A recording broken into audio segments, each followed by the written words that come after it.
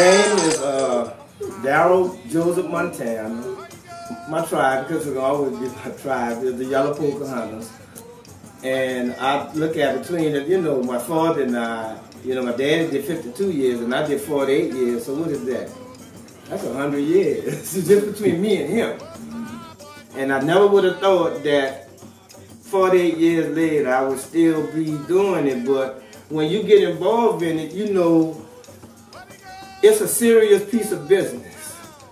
And you know, anybody who dress, I respect what they do because I know what it takes.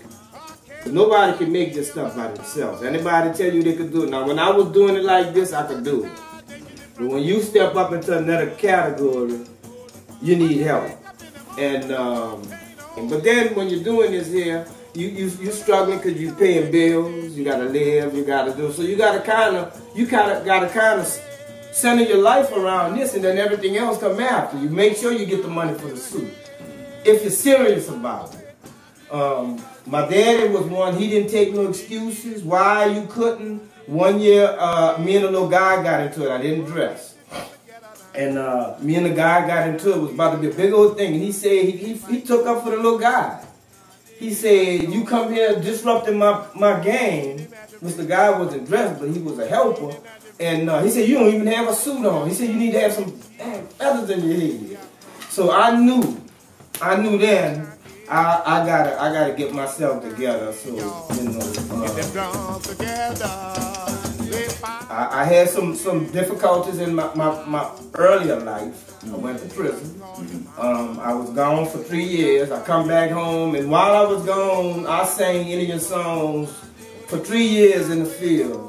I must have had a tribe of about 300. So I was like, wow. and, and if it had not been for this, I don't know what where I would have my mind frame would have been when I was incarcerated because I've seen where it was trying to drive me sending me to go cut grass and water. I'm standing in the water with a grass, trying to, you know, but they was mentally messing with me. Mm -hmm. But I realized, I said, you know what? The longer I stay here, the stronger I'll be. I'll be strong as King Kong, and I have not stopped. It's all because I, I had this to fall back on. Before Katrina, y'all routes haven't changed after Katrina. My route has always been the same route my daddy took. I've never changed anything. I never changed the songs, the same songs my daddy sang. Um, just like like now they, they you know he was a, he was very uh, stickler for people making sure people sing Indian Red right.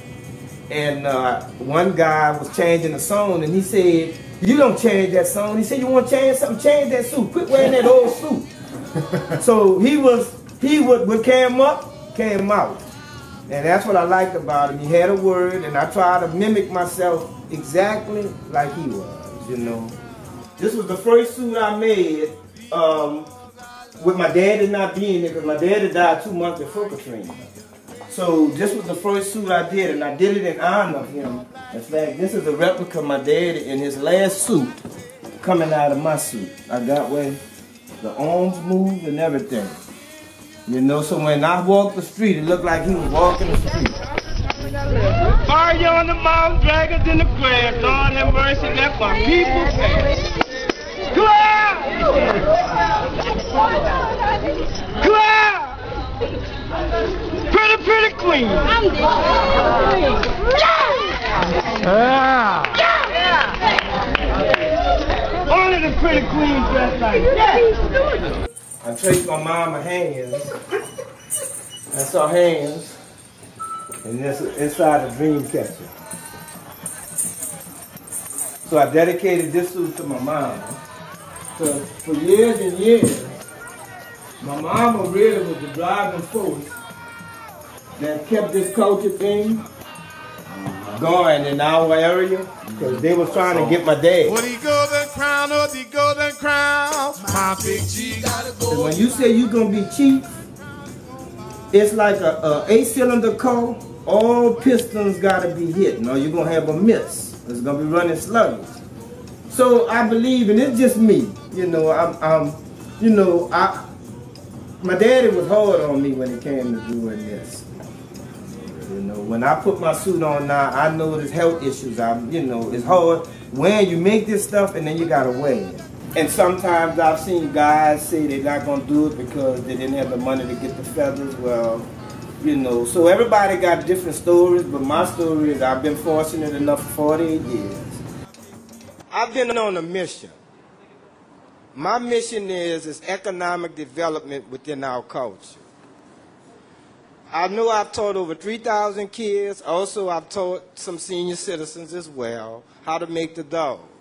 The senior citizens are on a fixed income. Make the dolls. They'll be able to supplement that check they get once a month to help them with their, their, their, their medication bills or whatever. Um, the young kids. If I don't get the kids, you know who's going to wind up getting them? The dope dealers. Get up, let's go, get up, let's go, get up, let's go, get up. Don't get no support. I've done one thing with the Tourist Commission. They took a street car and put it on an 18-wheeler truck and drove it to Chicago. Outside of the Intercontinental Hotel, it maybe was about maybe about seven of us that went on a trip by way of the young lady Tony Wright. She's no longer there. And um, you know, I was able to make make money by that way. But they basically they were using us to let the world know that New Orleans is not still underwater. So that's why we did that. But as far as anything else, haven't really gotten any kind of play. i have been teaching at Xavier. I think this should be about my 24th year. Teaching kids how to do this. And um, the money that I made for the summer camp paid for the suit. So I didn't have to be trying to figure that one out. Um, but in my traveling, I've got a chance to go to other places, and everybody's trying to get here. And I, I was telling somebody not long ago, uh, but Indian is key, and everything else come after that. You know, it's like to not have us. This is how serious it is. To not have us is like gumbo without the seasoning.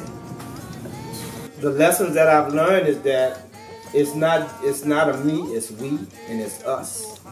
Cause for me to do this and not have people, the masses out there waiting for me to come out, I mean, from sun up to sundown, if it take that long, to be in the presence of folks and they're just telling you how much they love you. You know, um, just so, so much love, and even even some of the people that was my rivalry this year, because they knew it was my last year and they didn't dress. And I had one young man to come up to me and said, Chief, can I take a picture with you? Now, he's a chief too. And for years and years, I kind of had a bad taste in my mouth because the way he dealt with me, you know what I'm saying? But this is a competitive sport. And um, for him to come up and ask me, can he take a picture? I said, of course, come on. You know, and then he tell me, he said, man, I love you. Wow. And I, I posted some stuff that that I'm not in competition with anybody. Um, I just do what I do. I teach a lot. You know, I try to teach by passing it on. You know, and I'm just hoping that that what my dad has gone through, what I've gone through thus far, that the tribe will continue. And, and Indian is a beautiful thing. But in it, there's some ugliness in it, you know, because everybody to try to be the one. But I feel, you know, and I think I do pretty good, but I feel like it was only one, and it was Tootie Montana.